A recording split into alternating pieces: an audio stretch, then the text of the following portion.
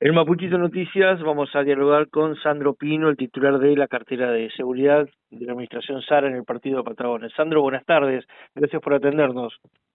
Buenas tardes Raúl y bueno, saludo también a la audiencia y como siempre a través de los medios donde uno puede comunicar es fundamental hablar siempre con ustedes de temas inherentes a lo que hace al área de incumbencia nuestra, que lógicamente siempre hay que informar para que el pueblo esté en conocimiento, ¿no?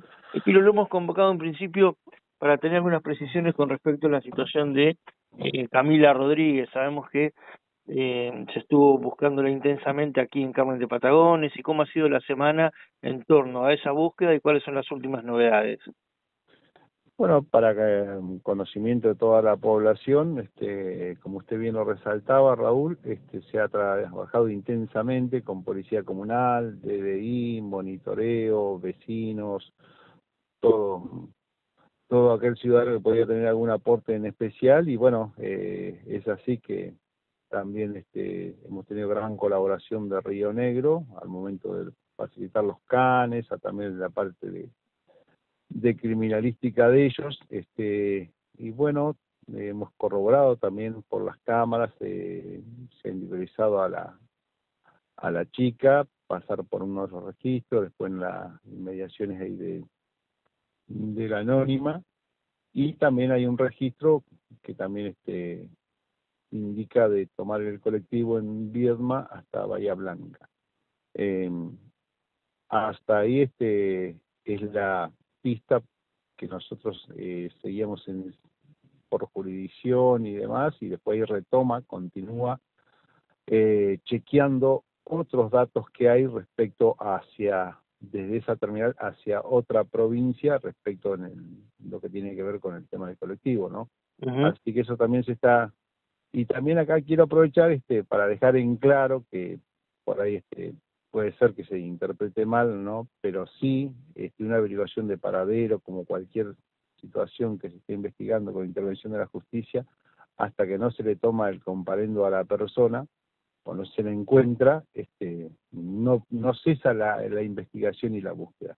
Independientemente que hasta acá en los registros que tenemos, este, todo indica con, se la ve con una normalidad pasar a la persona, pero eso no quiere decir que nosotros tengamos el, la última palabra respecto de, que ya ahí está todo establecido. No, esto, esto lo que sí ya por jurisdicción, este, la misma policía, ¿no es cierto?, de DDI continúa con la investigación y a su vez requiere, como ocurre en todos los casos, de la intervención en otras provincias, de otras policías y demás, para seguir este, corroborando estos datos que van surgiendo este, día a día respecto de la búsqueda del paradero de esta chica. ¿eh?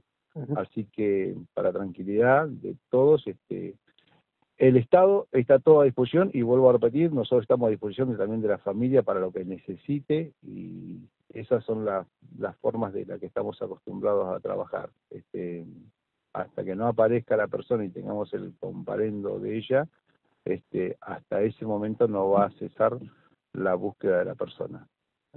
Vino como para que le quede absolutamente en claro al vecino, para ustedes no es una causa que está cerrada, simplemente se ha trasladado el área de búsqueda e investigación. Exactamente, porque va trascendiendo jurisdicción, todo indica que ya eh, por los registros y demás que, que tenemos, que va pasando este de jurisdicción en jurisdicción, ¿no? Ya quienes están en Bahía llevando adelante también la correlación de los datos ya están requiriendo informes a otra provincia respecto del paradero de la persona. ¿eh? Nunca se cierra hasta que no se da con la persona y se le toma declaración, ¿no es cierto?, por las circunstancias que motivaron este o lo que fuera, ¿no es cierto? Pero sí los paraderos, como cualquier intervención que hay de búsqueda de persona, hasta que no se da con la persona, no se para. Todo indicaría que vamos bien orientados. Bueno, faltará este entrevistar a la persona, ¿no es cierto? Y bueno, y también que la familia se quede tranquila, que nosotros estamos poniendo todo lo que tiene que ponerse a disposición para que se la pueda localizar. El Pino le robo dos minutos más de su tiempo. En estos últimos días ha habido, por lo menos de manera de trascendido, este, o hemos recibido la preocupación de varios padres con respecto a una situación que se podría haber dado en el ámbito del Colegio Malvinas de Patagones, donde presuntamente se habla de que habría dos videos circulando con respecto a alguna intencionalidad de ingresar al establecimiento con arma de, fuego o alguna situación de esas características. ¿A ustedes les ha llegado la inquietud de manera oficial? ¿Han tomado conocimiento del tema? ¿Qué nos puede contar al respecto? Sí, es así como usted lo plantea y a raíz de eso hemos iniciado actuaciones de oficio con la Policía Comunal, está a disposición comunicado a la justicia, este, la ayudantía fiscal está llevando adelante las actuaciones, este, tal vez así, este, bueno, que ya se habían tomado declaraciones y demás a los fines de dilucidar esta situación planteada, no nos olvidemos que en ese aspecto y en ese contexto y en ese lugar hubiera un, hecho muy grave, muy trascendente, entonces nosotros cuando por mínima que sea la situación o de máxima que sea, no podemos descartar nada. Por consiguiente, eh, pusimos enseguida a disposición lo que teníamos de la justicia y bueno, y en la medida que vamos este, recopilando algunos indicios y demás para llevar luz y claridad y transparencia hasta esto que estamos haciendo. Así que creo que hasta acá este, vamos avanzando en todo lo que hay. Sí, este trascendido estuvo y ya está puesto a disposición de la justicia y la justicia se está ocupando también con nosotros de buscar todas las evidencias y demás para garantizar cualquier situación que pudiera surgir respecto a esto, ¿no? Es decir, eh, ustedes se noticiaron y ya han tomado cartas en el asunto. exactamente, quien les habla es uno de los que propicia la denuncia, a eh, partir de las evidencias que nos han mandado. ¿Han podido hablar con las autoridades del establecimiento educativo? Eh, el Ministerio Público sí, el Ministerio Público sí, en eso estamos en contacto permanente, inclusive ayer y hoy también hemos hablado con el Ministerio Público y ya habrían tomado contacto con las autoridades del establecimiento. ¿Y saben si el Ministerio Público pudo acceder a los videos eh, que se mencionan, si por uno pudo corroborar de la certeza de los mismos?